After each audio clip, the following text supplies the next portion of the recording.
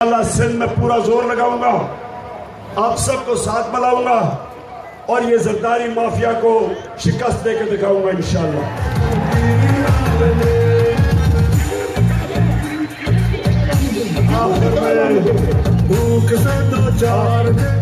آخر میں آخر میں آخر میں آخر میں آج خاکان عباسی نے تقریر کی ہے اور اس نے ایک ایمنسٹی سکیم دی ہے۔ میں خاکان عباسی تمہیں اس ادھر سے پیغام دینا چاہتا ہوں کہ تمہارے پاس مشکل سے سات ہفتے رہ گئے کیا ضرورت پڑی تھی آج آپ کو یہ سکیم دینے کی؟ اور سکیم کیا ہے؟ کہ جو بچارہ اس ملک کا ٹیکس پیئر، جو دیانتداری سے ٹیکس دیتا ہے، اس کے اوپر جو بچارہ اس ملک کا ایماندار آدمی ہے اس کے اوپر آپ نے کیا کیا؟ اس کو بجائے خراج تحسین پیش کرنے کے آپ نے اس کو سزا دی۔ آپ نے دیانتداری کو سزا دی اور آپ نے کرپٹ لوگوں کو ٹیکس چوروں کو کرپٹ والوں کو جو پیسہ یہاں سے چوری کر کے باہر لے کے جاتے ہیں آپ نے ان کو موقع دیا۔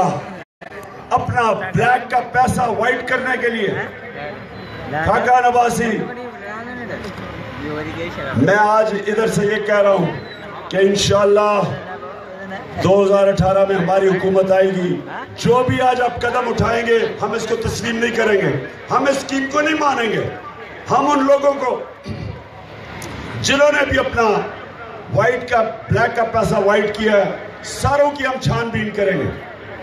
اور ہم کسی صورت اس ملک میں چوروں اور کرپٹ لوگوں کو، ڈاکوؤں کو ٹیکس چوروں کو ہم اس ملک میں اس طرح اجازت نہیں دیں گے کہ پہلے پیسہ چوری کرو اور پھر تمہاری طرح کے لوگ کتنی دفعہ نون لیگ نے ایمنسٹی سکیم دی ہے، کتنی دفعہ پیپلز پارٹی نے دی ہے۔ کیا فائدہ ہوا ہے پاکستان کو؟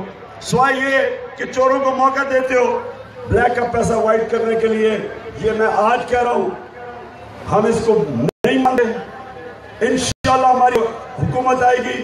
ہم ان سب کو انویسٹیگیٹ کریں گے جن کو تم نے بلیک کا پیسہ وائٹ کرنے کا موقع دیا۔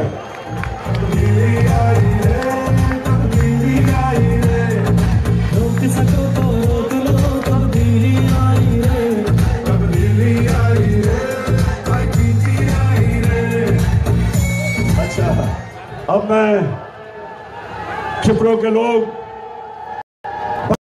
شہریوں آپ شکریہ ادا کرتا ہوں۔ اور آپ کو پھر آخر میں یہ کہتا ہوں، آپ تیاری کر لو۔ آپ کا کپتان مقابلہ کرنا جانتا ہے۔ میں انشاءاللہ آپ کو، آپ میری ٹیم بنیں گے۔ میں آپ کو زرداری کا مقابلہ کر کے دکھاؤں گا۔ اور دو ہزار اٹھارہ الیکشن آپ کو جیت کے دکھاؤں گا انشاءاللہ۔